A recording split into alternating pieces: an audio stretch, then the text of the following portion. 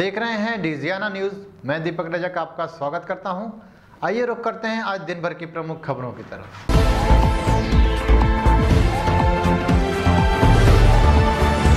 स्वदेशी जागरण मंच राधोगढ़ के द्वारा नगर में विशाल रैली का आयोजन किया गया, जिसमें संघ के सह विभाग प्रचारक रामवीर सिंह ने छात्रों को स्वदेशी वस्तुओं के लिए आग्रह किया, एवं कुलदीप भारद्वाज ने संकल्प दिलाकर चीनी वस्तुओं का बहिष्कार करवाया। रैली में हज़ारों की संख्या में विभिन्न स्कूलों के छात्रों ने हिस्सा लिया, जिसमें राष्ट्रवर्धन स्कूल, प्रज्ञा स्कूल, सरस्वती ज्ञान मंदिर, महर्षि दयानंद सरस्वती शिशु मंदिर आदि विद्यालयों ने कार्यक्रम में सहभागिता दी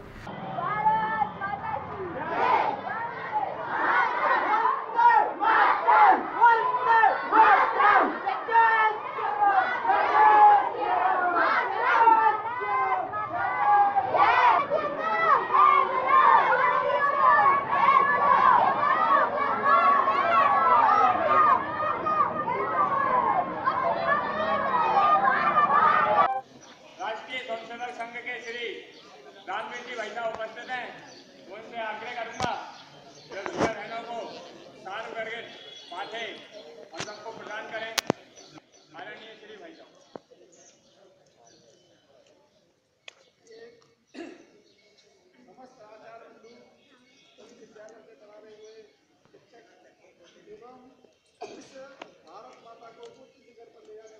राधोगढ़ से हमारे सहयोगी कमलेश सैनी की रिपोर्ट।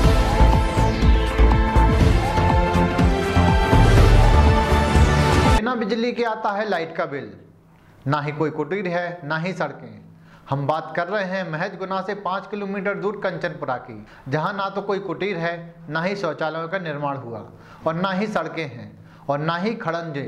कहने को तो हम डिजिटल इंडिया की बात करते हैं, पर इस गाँव की दुर्दशा देखकर लगता है कि हम आज भी पिछड़े हुए हैं। कंचनपुरा के निवासियों का कहना है कि यहाँ पर खंभे लगे हुए हैं, पर उनमें अभी तक बिजली का करंट नहीं है। इसके बावजूद कोई भी छोटा मोटा बिल नहीं आता, बल्कि बिल हज़ारों में आता है। कई बार शिकायत करने के बाद भी ना तो सरपंच सुनता है और ना ही जिला प्रशासन। गाँव वाले जन सुनवाई में आवेदन दे दे के परेशान हैं। आश्वासन के अलावा कुछ नहीं मिलता।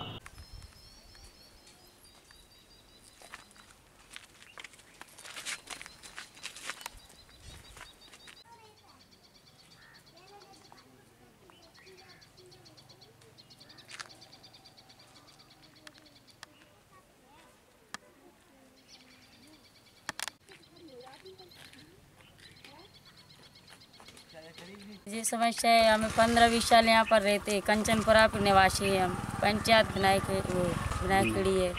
और ना तो हमारी शौचालय आई यहाँ पे ना कुटी आई इतने दिन से। कुछ भी काम नहीं हो रही। पाँच एकड़ी से बोली है कितनी बार तो बोल दिया। वो यही बोलते हैं आ जाएगी आ जाएगी। बस यही बोल के चले जाते हैं। यहाँ की बिजली की एक बहुत बड़ी समस्या है कि पंद्रह साल से खंभे तो गड़े हुए हैं लेकिन उन पर अभी तक तार नहीं खींचा गया है। और ना तो डीपी रखी गई है।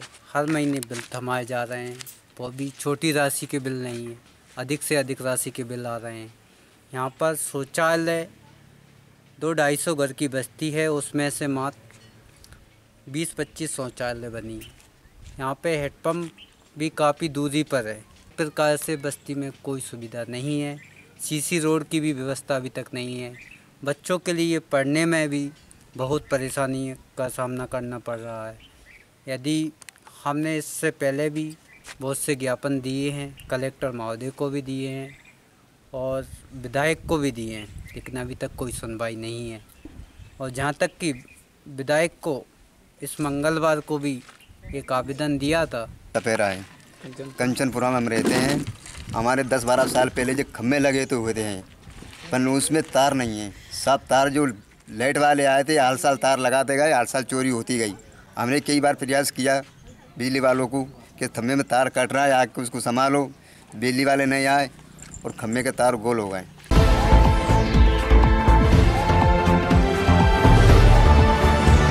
भाजपा प्रदेश संगठन के निर्देशानुसार जिला बैठक, जिला प्रभारी महेंद्र सिंह यादव के विशेष अतिथि में स्थानीय होटल नवलोक में संपन्न हुई। प्रदेश में किसानों को उनकी उपज का उचित मूल्य दिलाने हेतु मध्य प्रदेश सरकार द्वारा भावांतर योजना आगामी 16 अक्टूबर 2017 से लागू करने जा रही है, जिसकी विस्तृत जानकारी जिला संगठन प्रभारी महेंद्र सिंह यादव ने दी। इस अवसर पर भाजपा के पूर्व जिला अध्यक्ष हरि सिंह यादव, पूर्व मंत्री के एल अग्रवाल, प्रदेश कार्यकारिणी सदस्य ओ एन शर्मा, वरिष्ठ नेता राधेश्याम धाकड़, जिला पंचायत अध्यक्ष अर्चना बबलू चौहान, नगर पालिका अध्यक्ष राजेंद्र सिंह सलूजा मंचासीन उपस्थित रहे।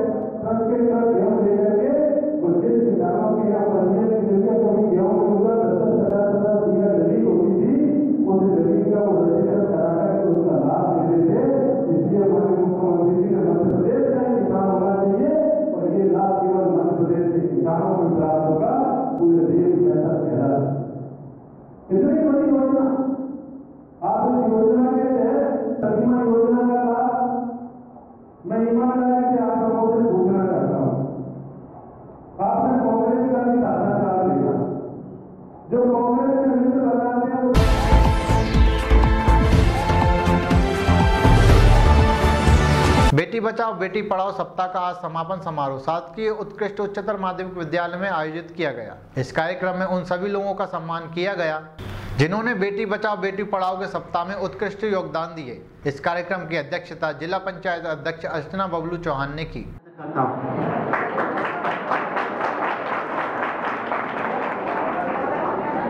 कार्यक्रम का औपचारिक शुभारंभ करते हुए सर्वप्रथम मैं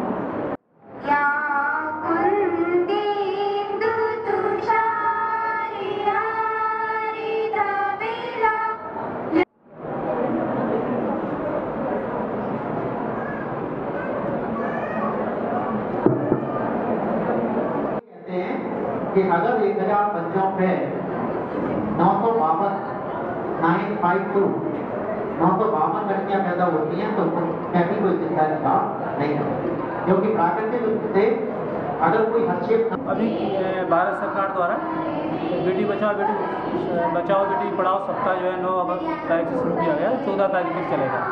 तो आज इस सप्ताह का समापन है। इस सात दिन में हर ब्लॉक स्तर पर रैलियाँ निकाली गई हैं, स्कूलों में कार्यक्रम आयोजित किए गए हैं आंगनबाड़ियों में कार्यक्रम आयोजित किए गए हैं, स्वास्थ्य कैंप आयोजित किए गए हैं। और आज जो है समापन समारोह है, इसमें जो ब्लॉक स्तर पर कार्यक्रम किए गए हैं, या जो लड़कियों ने अच्छे काम किए उन सबको सम्मानित किया जाएगा।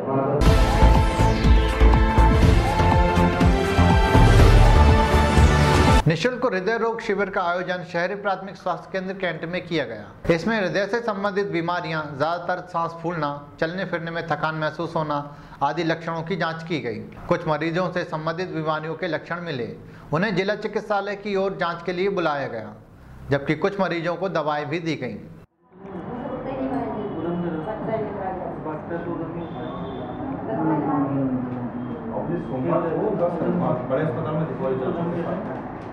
आज हमारे इस कैंट के अ, सरकारी अस्पताल में निशुल्क हृदय रोग शिविर लगाया गया है इसमें हृदय रोग से संबंधित सभी लोगों का इलाज किया जा रहा है।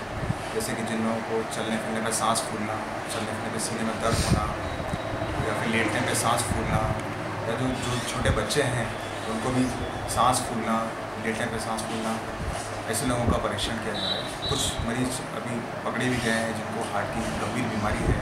ऐसे लोगों को ऑपरेशन के लिए भी बताया गया है। कुछ लोगों के लिए ईको का भी सोमवार को उनकी डेट दी गई है।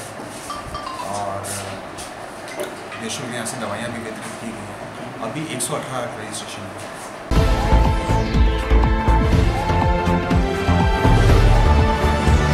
दीपावली के नज़दीक आते ही बाजारों में दिखी रौनक। जिधर देखो उधर खरीदारी करते हुए लोग नज़र आए। गुना के बाज़ार की कुछ झलकियाँ। हम लोग चावरा भाई।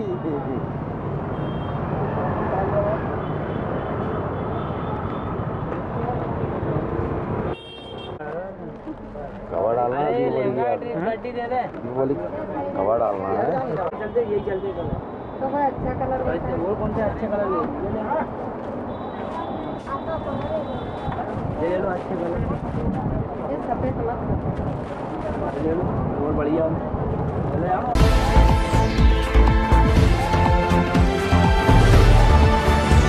अस्पताल परिसर में आज मारपीट की घटना हुई, जिसमें एक पार्किंग कर्मचारी घायल हो गया। कर्मचारी ने आरोप लगाते हुए कहा कि वह साइकिल स्टैंड पर हमेशा की तरह वसूली कर रहा था।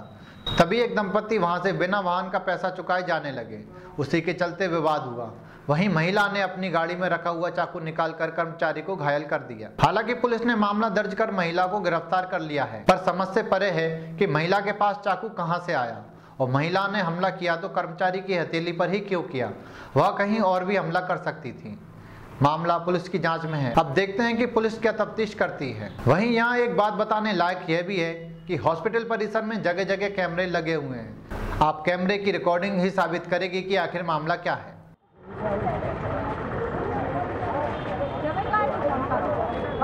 भाई के भाई निकल लो भाई के भाई। ले लेना। तो चप्पू सही है? गुजरात में भी है ना? चप्पू सही है। ये ब्लेड लग रहा है तो कैसे करना ये को रहा के हाथ में। ये चक्कू मार दिया सर। कितने? लेडीज़ ने। किसका हाथ? से ये पाँच रुपये के चक्कर में। क्या क्या क्या हुआ था? वो तो एक बताए एक जेंट्स था कोई कोई बुला के लाया था लेडीज़ को डिग्गी में से लेड़ा और डायरेक्ट मार रही थी मैंने की मैडम भाई से बोली मैंने की भाई से पाँच रुपये दे उसने भी था उसने भी मारा तो वो लेडीज़ को बुला लाया और लेडीज़ ने भी चक्कू मारा। आगे नहीं उनको खूब मारने लगे। मैं थोड़ी ने गाड़ी रुकी मेरी तो मुझे पकड़ गई उन्होंने तीन चार जने थे लोग और वो एक उसका हाथ में चप्पू था, मेरे हाथ में चप्पू पकड़ा दिया, उसने आगे तो हाथ काट दिया काट के और मुझे चप्पू पकड़ा दिया, उसने मेरी सीटी मुझे अब मार के तो चप्पू। मुझे वैसे ही डर लगता है, मारने में किसी को मुझे बहुत डर लगता है।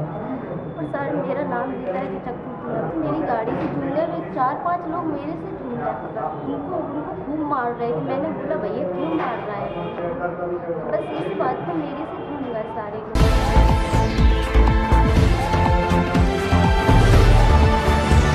एक अनियंत्रित ट्रक ने मारी स्कूटी सवार को टक्कर। आरोन बस स्टैंड के नज़दीक पुल के पास एक स्कूटी चालक अपने घर जा रहा था। वहीं एक अज्ञात ट्रक अनियंत्रित आकर उक्त स्कूटी चालक को टक्कर मार गया और फरार हो गया। घटना की सूचना मिलते ही डायल हंड्रेड स्कूटी सवार को लेकर जिला चिकित्सालय पहुँची। समझ से परे है कि दिन के समय जब नो एंट्री लगी हुई है तो ट्रक वहाँ से कैसे जा रहा था। इस सवाल का जवाब तो ट्रैफ़िक प्रभारी ही बता पाएँगे कि नो एंट्री के समय ट्रक आखिर आया तो आया कहाँ से।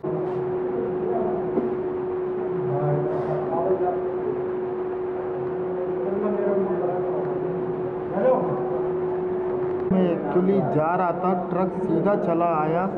मैं तो अपनी साइड पे ही था वो सीधा आके और मेरे सामने ही आ गया अगर मैं गाड़ी से जस्ट नहीं उतरता जस्ट सामने। उनके नीचे ओवर ब्रिज के नीचे आरोन बस स्टैंड सर मेरे को पता तो नहीं रहा क्योंकि मैं तो गाड़ी से पिक जाने के बाद तो मुझे कुछ भी पता नहीं रहा ये अपना आलोन बस स्टैंड पे फिर ट्रक वाले ने स्कूटी में टक्कर मारी। हाँ हमको इवेंट मिला फ़ोन पे सूचना आई हम तत्काल पहुँचे। और हमने घायल को तुरंत गाड़ी में रख के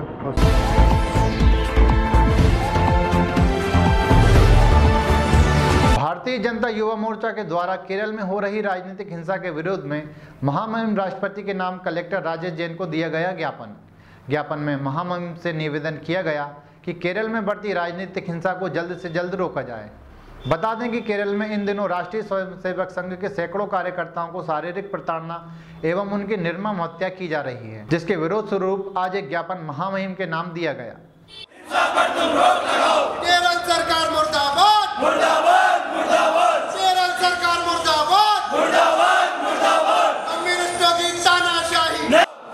संघ पर हिंसा बंद करो बंद करो बंद करो संघ पर हिंसा बंद करो बंद करो बंद करो संघ पर हिंसा बंद करो बंद करो की राष्ट्रीय अध्यक्ष पूनम महाजन जी मध्य प्रदेश के मुख्यमंत्री श्री शिवराज सिंह चौहान जी एवं मध्य प्रदेश भाजपा प्रदेश अध्यक्ष श्री नंद कुमार सिंह चौहान जी के आह्वान पर ये राजनीतिक अनेक वर्षों से।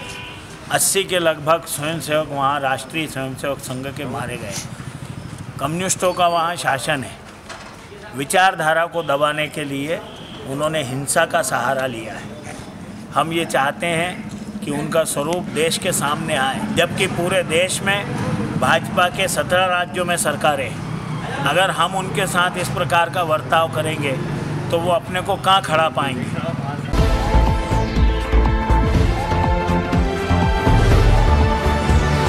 अपने सहज स्वभाव के धनी, जिला एसपी अविनाश सिंह के स्थानांतरण, नवीन एसपी निमेश अग्रवाल के स्वागत के लिए आज होटल राजविलास में पत्रकार संघ के द्वारा एक कार्यक्रम आयोजित किया गया इस कार्यक्रम में सभी पत्रकारों ने पूर्व एसपी अविनाश सिंह के साथ अपने अनुभव बांटे। साथ ही नवीन एसपी निमेश अग्रवाल को गुना आने की बधाइयाँ दी। इस अवसर पर सभी पत्रकारगण मौजूद रहे। लेकिन अविनाश सिंह जी के कुछ स्मरण सुना देता हूँ। जब भी हमारी कभी उनसे मुलाकात होती थी या बहुत ही सहज भाव से वो हमसे मिलते थे, और पहली मुलाकात तो इतनी यादगार थी कि जब हम, मैं, हमारे साथी विकास दीक्षित शेखर पलवगरा हम लोग गए। तो नए एस पी साहब के रूप में अविनाश सिंह जी ने उस समय चार्ज लिया और हम लोगों ने मुलाकात करने पहुँची। सहज परम्परा थी। तो आमतौर पर ऐसा होता नहीं था, लेकिन मैं खुद, मेरा चौंकना लाजमी था कि एसपी साहब, अविनाश सिंह जी हमें खुद सभी पत्रकारों को दरवाजे तक छोड़ने आए। एक साल के कार्यकाल के बाद मैं जिला से वापस को बाद जा रहा हूँ यहीं से आया था, मैं वहीं वापस आ रहा और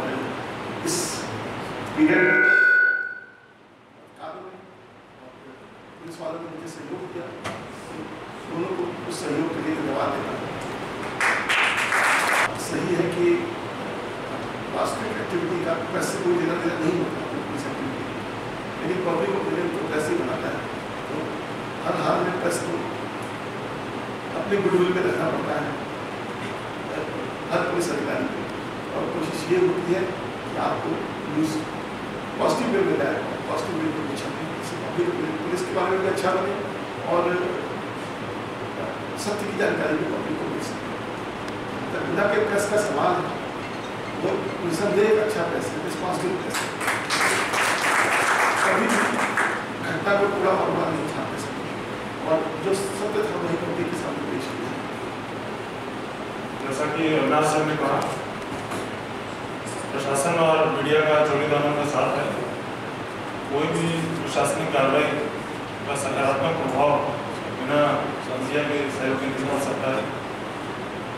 जैसा आप लोगों ने बताया, सर के कार्यकाल में पुलिस और मीडिया का सहयोग काफ़ी अच्छा रहा। नई ऊंचाइयाँ पाई गई मैं लोगों को विश्वास दिलाता हूँ कि आगे भी हम और नई ऊंचाइयाँ छुएँगे। आप लोग समस्या बताते जाएँ। प्रशासनिक टीम ये प्रयास करेंगे कि उन समस्याओं को हम लोग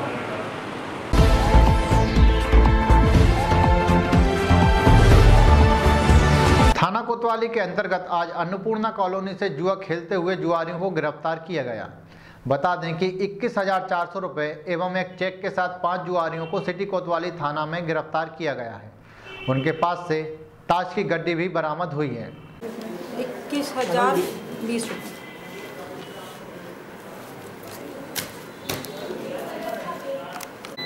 अभी थोड़ी देर पहले की घटना, सूचना है।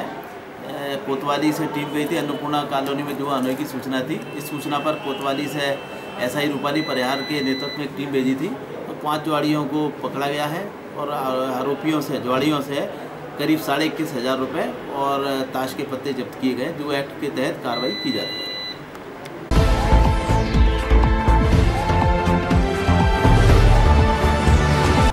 की सूचना मिलने के बाद आज सुबह ज़िले के चार थानों की पुलिस धरनावदा पारदियों को पकड़ने के लिए पहुँची। सूत्रों के मुताबिक पारदियों को तीन तरफ़ से घेर लिया गया, जिसके बाद पारदियों की तरफ़ से पुलिस पर गोलियाँ चलाई गईं। बचाव में पुलिस की तरफ़ से भी गोलियाँ चलाई गईं, जिसमें सभी पारदी फरार बताए जा रहे हैं। सूत्रों के मुताबिक सभी पारदी नदी का फ़ायदा उठाकर भागने में सफल रहे। समझ से परे है कि पारदियों को आखिर पुलिस के पहुँचने की सूचना कैसे मिल जाती है? क्या पारदियों की मुखबिर पुलिस की मुखबिरी से ज़्यादा सक्रिय है? हालाँकि भागे हुए सभी पारदियों पर मुकदमा कायम कर लिया गया है।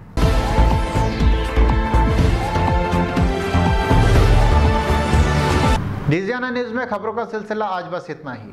कल नई खबरों के साथ हम फिर हाजिर होंगे। तब तक के लिए नमस्कार।